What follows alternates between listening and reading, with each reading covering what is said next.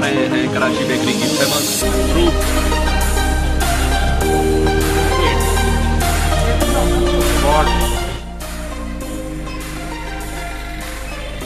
Karachi bakery के यहाँ पर हमारे साथ में खड़े हैं मालिक, श्री लेखराज राम नायक जी।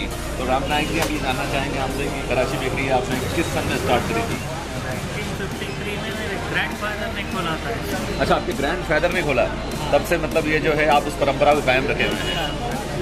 और यहाँ का सबसे खास बात क्या है? कराची बेकरी फ़ेमस क्यों है? फ्रूट बिस्किट्स कैशो बिस्किट्स ये हमारे मशहूर बिस्किट्स हैं।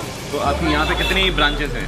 29 branches in single Hyderabad city oh god 29 branches in single city Hyderabad के अंदर कराची बेकरी जो है। बहुत बहुत धन्यवाद लेखराज जी।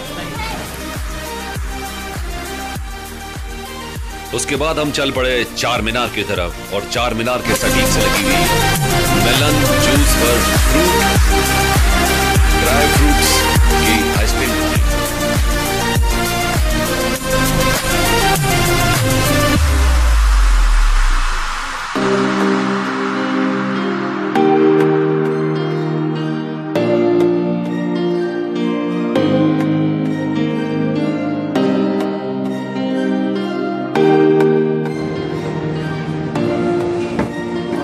हैदराबाद के चार मीनार के सामने की होटल में है। और इसमें जो मिलाया हुआ जो मसाला है, जिसके अंदर तरह तरह के फूड्स इसके अंदर हैं, जो अपने स्वाद को हैदराबाद के स्वाद के साथ मिलाकर आपके लिए पेश पाइनएप्पल बनाना और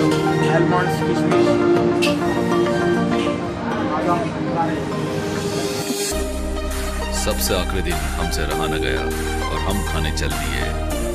पैराडाइज बिरयानी हैदराबादी बिरयानी।